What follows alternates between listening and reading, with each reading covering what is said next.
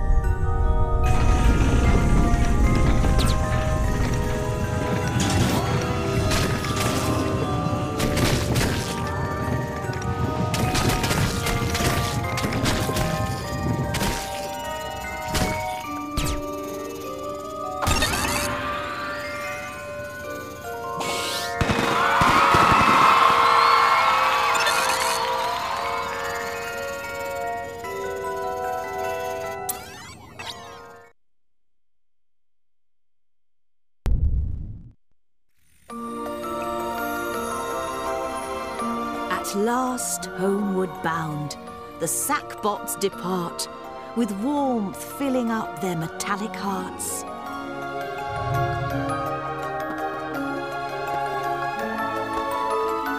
Trophy aloft, not a care in the world. They tell tales of their hero, a sackboy, or girl.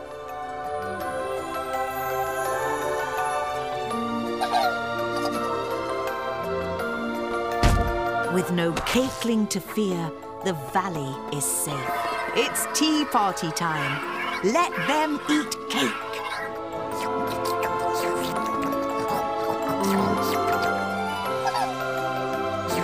Cake in their bellies and victory in hand. One and all drift away to soft, tranquil dreamland.